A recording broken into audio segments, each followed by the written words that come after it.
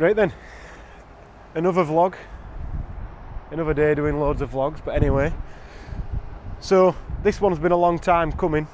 We've had this car for just over two years now. It keeps coming up on me uh, Google pictures saying two years ago you did this, you did that, you did other, and it brings back bad memories when we got this car. But anyway, so we've campaigned this on loads of track days, and I think we got it ready in, from when we got it. Let's put a picture of what it looked like when we got it. It looks a lot more finished than it was.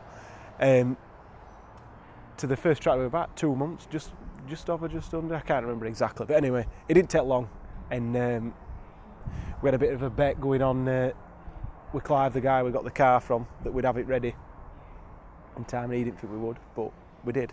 So anyway, we basically bought this as an unfinished project. It meant to have had a 20 valve turbo in with 500 horsepower or whatever.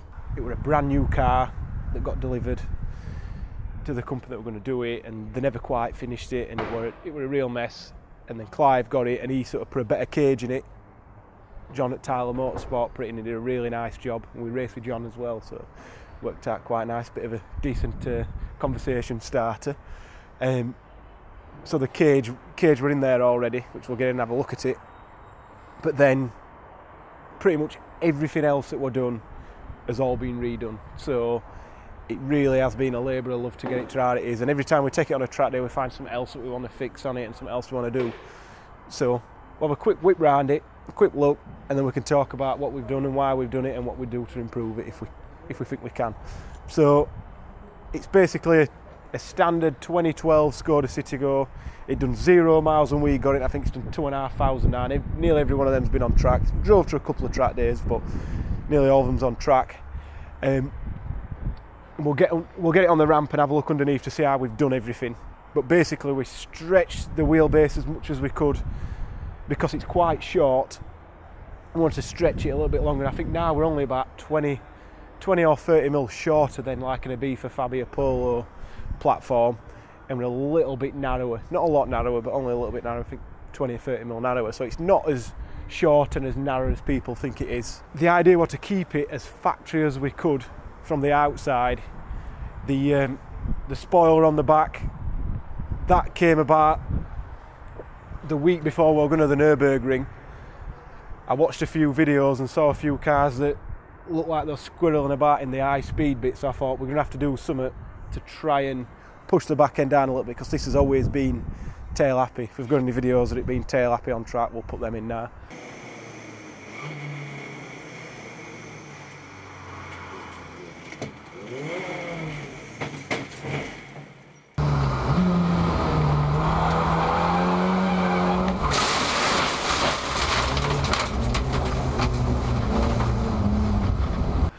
but it will always tail happy and the ring is really fast and stability is far more important than like the slow speed turning that you need at a lot of UK tracks so we put that on there. A little bit detracting away from the original keep it factory looking but I think it's subtle enough not to cause any problems.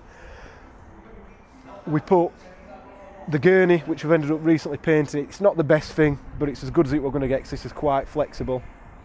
But we put the gurney on there so that we can get the heat out of the engine bay because there's a lot of heat generated in here. And the same with the bonnet vent, because it's all so tightly packed, we had to put the bonnet vent in to um, to get all the heat out of there. And it's got a little gurney on the back there, so we've got this of gurney pulling the heat out here, and the gurney creating a low pressure here to pull the heat out here, which it's as good as it's going to get. And then obviously the front bumper it's stretched and skewed and pulled in all directions. Same with the arches. So we've ended up with sort of dodgy panel gaps everywhere that we're going to try to get sorted probably next week. Um, but we might not have time to film before then. That's why we're doing this before we've done a little bit. So if before this video goes out, we've got them sorted, we'll put a picture of it looking a bit tidier. And the reason it's got some holes in bumper, I ripped front bumper off last time we were out on track as well.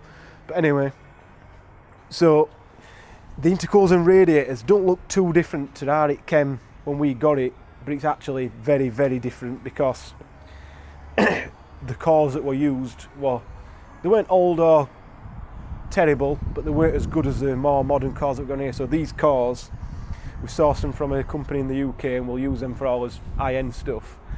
Um, they're very expensive. I think like 400 quid each car or something like that. Something ridiculous. But these are the same that you use on touring cars. Some Formula One cars will use this sort of stuff, especially historic stuff. This is all Formula One technology brought forward. But we sort of tried to keep it where we didn't have to cut the bumper too much. And initially we painted these black so it just looked like um, it just looked like a, a radiator. So to the untrained eye, if you took the spoiler and the bonnet crap, which we have got another standard spoiler, uh, another standard uh, bonnet that fits straight on. If we took all that crap off, it'd look totally standard in my opinion. So we've got this, the number plate, oh it's stuck on pretty well. I don't want to rip the Velcro off though. But the number plate is covering up the oil cooler and a bit of the intercooler. But we've ended up with these are the sort of this is probably as good as you can get cooling wise because it's so tightly packed and the engine's so close behind it as well and it's still not perfect if you put these radiators in the golf something like that it'd be too cool it just would be absolutely fine so we have gone OTT but still it's causing some problems so if we have any more trouble with the cooling on this which we've not had last time out on track but it was quite cold but we'll see in the summer if we do have some more trouble we'd have to put the radiator in the back but that poses its own set of problems as well, so we're not going to do that. But hopefully, I stick this back on reasonably straight. Anyway, so we'll pop the bonnet and have a look under there first. So, as you can see, where the dipstick is, the engine is really far forward compared to um, in most cars. And we've got a fair bit of room at the back, probably as much, if not a bit more. Now the rain tray has been chopped out compared to um, most cars that we normally work on. So to get the engine in, we also had to modify all the slam that's all chopped to bits and everything, not starting so I don't know why that melted, but it did. We've put a beefer engine mounts in both sides, so that's got um, all the chassis been welded up to take the Ibiza, Polo, Fabia mounts so that they were the same as what we had on our race car, so we didn't have to have loads of different spares and it put the engine in a decent place because the Ibiza mount's quite tight up against the engine as well. And the gearbox one, we wanted them ratios, so it made sense using an Ibiza mount rather than like a Mark IV Golf one. You can get it quite, quite low down and quite, um, quite tight. And we've not really had to do much to the chassis legs other than weld onto the top of the chassis legs. So engine spec wise, if you watched the other videos like the Erosion and stuff like that, it's pretty, pretty run of the mill what we normally do. Sort of our ported head, well, it's a 2 litre 16 valve common rail from an Ibiza, like the, the yellow one. Um, ported head that we've done, our race cams, our tubular manifold. This is a top mounted one with a BMW housing, so it's V banded, so it's easy to take apart. Top mounted, it's a 2872 um, all our boost pipe work, all that, all that carry on going to obviously to the intercoolers. Stage three fuel pump, stage two solenoid injectors, 2700 bar fuel pressure sensor. We've gone a little bit custom on the inlet to do what we wanted to do. We had to notch a few bits out and what have you, but it's just how we wanted to do things. You didn't have to do it like this. Um, ceramic coated pistons that have been machined and balanced, H beam rods. This one's got an 8 valve PD cranking which is about four or five kilos heavier than the one that normally comes in this engine, but it's got bigger balance weights, which mm, when you're revving them, you probably want them. But we've gone the other way in the Golf and gone for the lighter one, and uh, I think that sounds a bit revier and it feels a bit better. But we've still got an heavy flywheel hanging off end. That's the biggest sort of dictator of what's going to make it rev faster or not. But I like to keep the heavy flywheel to keep it quiet and uh, keep the momentum going because once you drop off boost and a turbo as big as this, it's not going to um, it's not going to spool up as quick if you've not got a nice flywheel there keeping it engine turning. But anyway, so ARP bolts, head studs, pretty much everything. There's a full list in the description. You can click on there and you could just add everything to cart and press buy, but it probably costs you an absolute fortune. The engine build is what we spend a lot of time on. It's, we've got stuff like the electric water pumps on there, which that's hidden along at the front you can't really see, but there's pipe work going all over the place for that. Um, all the cust- all all the hoses are custom. We've got one of our thermostat housings with an 80 degree thermostat in there. There's a bit of a heater matrix on this as well, which adds a little bit of pipe work that we've got going down there. Three inch exhaust, which God knows how we managed to squeeze that in. Um, and you can just see the scruffy part of the custom subframe there, which should have been cleaned, but you can't really uh, get to clean that. But it's um, that's got an Ibiza steering rack on as well, so when we go racing, we've got the Ibiza spares, and that all works. So this, I'm sure I've missed loads of stuff out, but this is going to end up being a five-hour-long video if we don't um, if we don't get cracked on. Obviously, you can see here there's some brake reservoirs and there's no servo, so that's a little bit of a into what's going on inside. And then we've got one of those big um, fuel filter setups there because we always like to keep the fuel as filtered as possible. Like I said, there's tons of stuff under here that's probably missed, but look on the spec sheet if you want to look at any stuff in more detail. Make sure that's down, make sure that's on. So onto the inside. Oh, one of the things because of where the turbo is and where it had been notched out, we ended up having to go to left and drive wipers, so they do go the wrong way. But anyway, that doesn't really matter. So, inside the car, you can see the roll cage, really nice job.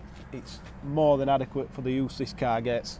It's um, really, really good. And um, we've added a couple of extra bars, and we added this in, a couple more, I think, to strengthen it up a little bit but it um, pretty much as it came. Got the motor drive seats in. These are just so comfy. You can drive this for hours on end, no problem. I've got an extra large one in that side. That's why it's got these little inserts so we can, if somebody's a bit bigger, then get in. Because this, the, the idea behind this car, we'll build it to do more passenger rides than uh, anything else. Got the Schroth harnesses. That's always what we run in our cars. These are the thinner ones to work with the HANS device. Um, OMP steering wheel with quite a decent extension boss on there because we sat quite far back and quite low down in this car. So it, although it's a small car, you don't feel like it when you're driving it. And then there's just so many little touches. It, it's going to take forever to go through them. But basically, we flocked all the dash. The clocks are from like a Leon Cupra and they're, um, the reason we did that is because you sat so low, the standard Citigo clocks, which I think we've got a picture somewhere of the dash before, or at least a Citigo dash, really tall. You'd have not been able to see much, so we chopped it down and modified it and did what we're doing. Got the 80 psi dual boost gauge, which that's got EMP monitoring in there as well, so we can keep an eye on things when we're on track. If EMP start high, we know we've got a problem. Just a normal Golf Mark IV sort of style headlight switch all mounted on extension so you can actually get to it when you're sat in seat. Mark IV Golf accelerator pedal mounted to a Tilton box that we extended back. All the AP cylinders, which that's been a bit of a pain to get sorted. Um, standard shifter, but with some custom cables. We did have a sequential in at some point, but somebody made us an offer on it, and we just sold it because I won't say I didn't like it, but it weren't my favourite thing in car. It didn't really uh, didn't really appeal to me. Got fly off handbrake just for that rally spec. We've got an extra bias valve here, as well as the one that's down here, which Danny's hating me for moving the camera about. This one does a pedal box, so it moves a spherical bearing across, and then that one does the actual hydraulic side. Custom switch gear, lock and unlock the car in here because we've got rid of all the factory stuff inside. This is to turn the camera system we've got wired in, hardwired into the car that says it switches map. I'm not sure if it does anymore. It used to do. And then we've got stuff to turn fan. This is to put heat in the car. We turn power steering on and off because it's got an Ibiza uh, power steering pump. Brake that turns off the switch. So if you use the handbrake, it disconnects the rear Haldex. That's what does that. And then you've got we can turn the four-wheel drive system off. Switch for the nitrous, switch for bottle heater, which the nitrous is not in at the minute, but it will be in before we take it next on track, just for just for laugh. Um, yeah, loads of of. This wouldn't be too far away from a full-blown race car if we just added an extinguisher. Maybe I think Scott had it in his head that he wanted to do that this year and take it to the Birkett, but we'll see what happens. So in the boot, I'm not sure if this will. I think I have to have ignition on for this to work. So because of the four-wheel drive system, this has got a bit of a strange tank in it. But this is where one of the cameras should be. I don't know why there's not a camera in there. That's uh, going on Danny's jobs list. So we've ended up basically putting, I think this pump's out of a BMW and this swirl pot's one that we just got off eBay cheap. But we've basically put um, put this in because the standard tank, it did have foam in there, but then the foam wasn't suitable for diesel, so it was surging because it weren't getting to the pickup, and the pickup were in a crap place. So we've ended up basically putting a standard sender unit in there that feeds to this swirl pot that then feeds to this next high pressure pump. That's just it was temporary, and we ended up making it a bit nicer and neater, and it's ended up being a permanent fixture in the car. But we might change that in the future. I would like to put one of our twin pump setups on there, but I'm not sure they're released at this present time. But anyway, and then this has got a Varley um, solid. Uh, I can't remember exact. Uh, it's sealed anyway. Still, I think it's still a lead acid, but this I think the glass matters, so it's not got any actual liquid in it. But we've got one of them in with um, Anderson plug to jump it off because they like to go flat every now and again. But all that's still working as it should. Zombie sticker for George. Plastic windows the rear window, this one looks a bit dodgy now, a bit scratched and a bit mucky, but this, we ended up making this ourselves and putting in a fiberglass oven over the original one and melted it round it, and what a pain that turned into. Made all these ourselves. We bought, I think we bought these ones in, or did we buy the sliders in? I can't remember. I think we bought the sliders in and we made uh, ours ourselves. So on the passenger side, all the ECUs tucked up here and the big rat's nest of wiring and stuff, so it's not ideal. It's not nice and neat, but it's as good as it can be. And then you can see just under here, that's the servo, because we've got the servo on the front and the rear brakes, just to try and make it better. But to be fair, we'll look at the brake system, and there's a few little flaws in it that we might try and iron out. But it does work as it is, except when your Carbone Lorraine absolute dog turd pads decide to drop to bits and it locks the rear wheels up, which I don't think we've got a video of wheels locking up, but we'll definitely put a picture of it. pads being crap. Anyway, is what it is. So, and then that's the eater box, which none of the eater box were already mounted when we got the car, so we sort of, unless we weld up a load of holes, we just left it where it was. So this is a little bit untidy than I'd want it to be, but it's functional rather than fashionable. Could spend weeks and weeks faffing about trying to make it all look better, but it makes no difference. So onto the visual stuff you can actually see here. Got the Octavia 17 inch spiders, Got one of our three inch side exit exhausts on here. The wheels are wrapped in the Yokohama A052s, which these are the tyre that we love. The mandated one of the championships that we are supporting and sponsoring now, but we really do like them. We're advocating these so much that that's how the deals all came along. We are running them at his own cost and testing them, and they worked out mint. And this has always ran on um, A048s, uh, sorry, AD08Rs, which they're a good tyre, very good road tyre, but for the track, I think we could get a bit more grip. So we've stuck a bit more camber on it last time we had it in, and then we've just literally today fitted these tyres. They've just literally come in, so this is ready, ready to rock. Um, brakes. When you see underneath, you'll see why we've got these, but they're actually front brakes on the rear noisiest helicopter in the world going over. But these are um, front brakes on the rear of the car. That's why we've got the hydraulic handbrake. And then on the front, we've got our Porsche 312mm four pot arrangement, and that, I think that's running some RS29 pads, I believe. I think Brembo Sports in the rear, RS29 in the front, and um, yeah, they work pretty well. The balance is quite good because it's four wheel drive. You do want some bit bigger brakes at the back, but these are probably a bit too big. I'd like to put some different brakes on there, but anyway, hopefully we can get out in a in a bit and take the top off these brand new tyres. But we'll see.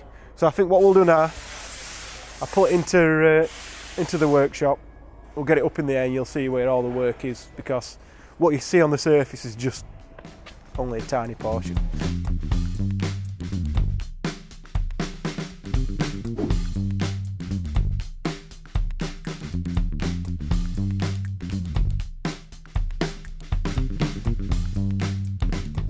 So, finally got it on the ramp. So it's a bit of a load of stuff going on here, but I think let's start it back and then we can work our way forward and I'm hoping I don't forget out, but anyway.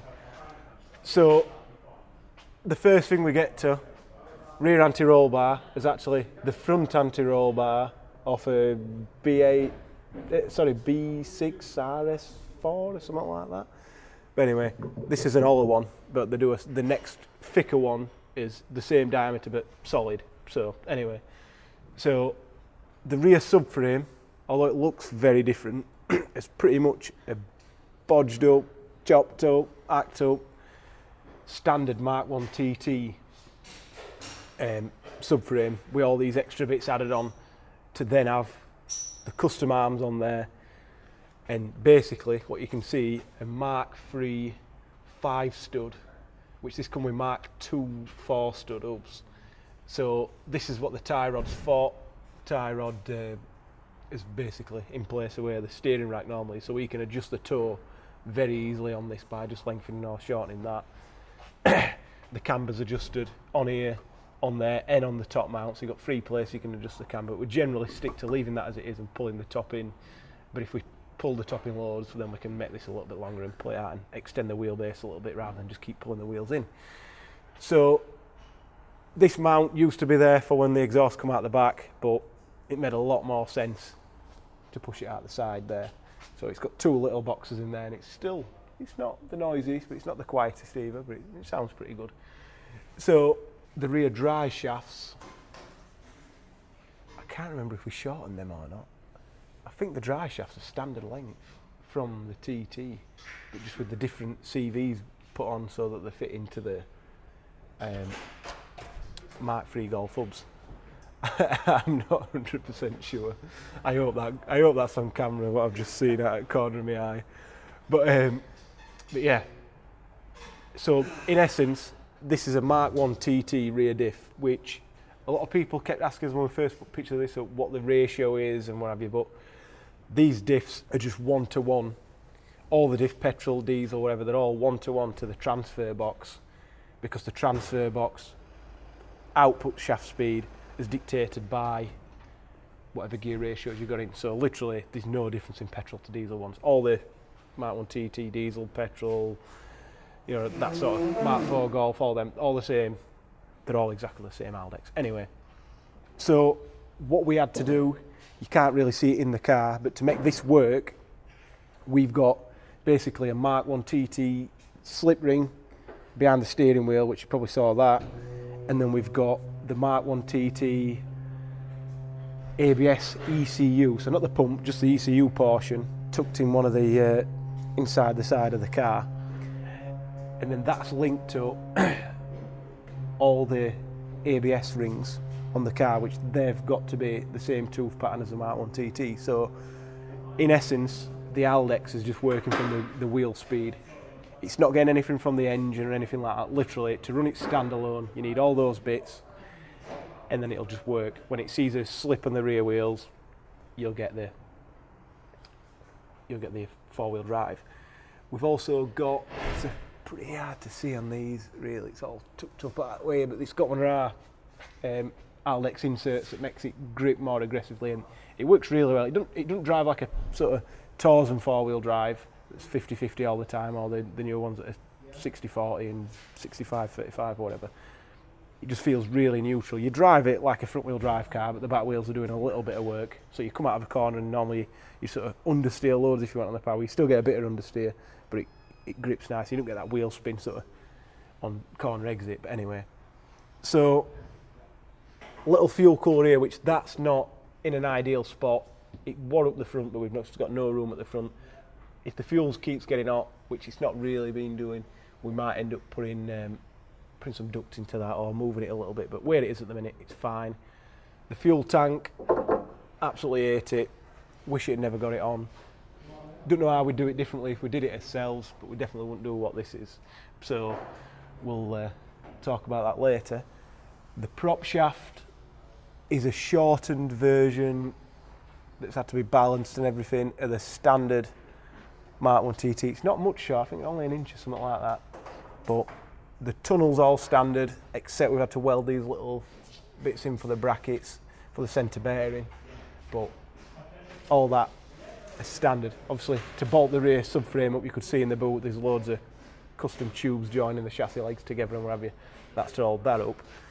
Um, so then onto the front, this is all custom to us as well. It did originally have all the um, Citigo subframe on there still, but it was a really big bulky thing and it made getting everything in quite tight. So we did the best, the best job we could and basically made a subframe that fitted as standard but move things in a little bit different way. The bottom arms are a little bit higher up, which should help things a little bit.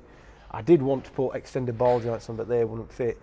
But then this anti-roll bar, which only just fits, even though everything's custom, it only just fits. It's a shortened rear Mark 5 Golf one. So I don't like a big anti-roll bar in the front, so we just got away with this one, and it seems to work pretty well.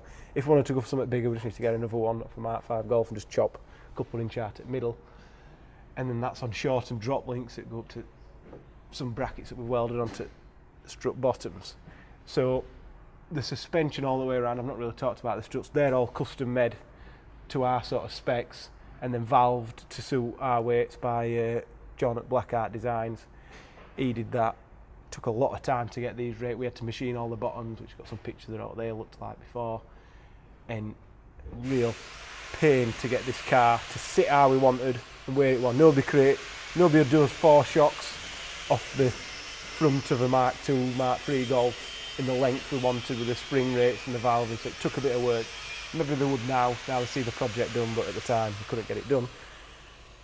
Custom bottom arms, we've got two options for the drop links. We used to have them on there, but we moved them up to the strut now because it just made more sense. A beef for steering out, like I mentioned before, and then that's going to some custom rose jointed extended knuckles to get rid of the bump steer. So this has got no bump steer whatsoever now. It's absolutely perfect. But these were a pain to source, everything were a pain to fit. It's been an hell of a lot of work. Custom dog bone mount that we made to suit this. Obviously, it's in a Ibiza gearbox in a Skoda Citigo chassis, so it was never going to be standard. And then just got one of our shallow sumps on there. See the custom boost pipe, brake ducting that goes to the top of the disc there. Got all the braided hoses that we normally use, and not tons really, really else to see on here. I'm sure I've missed absolutely loads of stuff. Seat transfer case, custom dry shafts that we've had shortened exactly to our specs. I think there's a spacer at back of them as well when we went a bit wider because we got a med before and then we went wider track again when we pulled the wheels out. And you can just see what's going on with radiator system. So we've got an hot circuit on there as well as trying to keep it as cool as we can. We want it to come to temp pretty quick you can just see the Ibiza power steering pump in there, so it's all really crammed in there, and everything's on rose joints as well. So and it's not as harsh as you'd think; it's pretty stiff. And I think this is the only Powerflex bush we've got on the car, and that's the uh, exhaust bushing. So yeah, I've probably gone on about it too much. I'm sure there'll be tons of questions. So ask away in the comments, and we'll put them on, and we'll. Uh,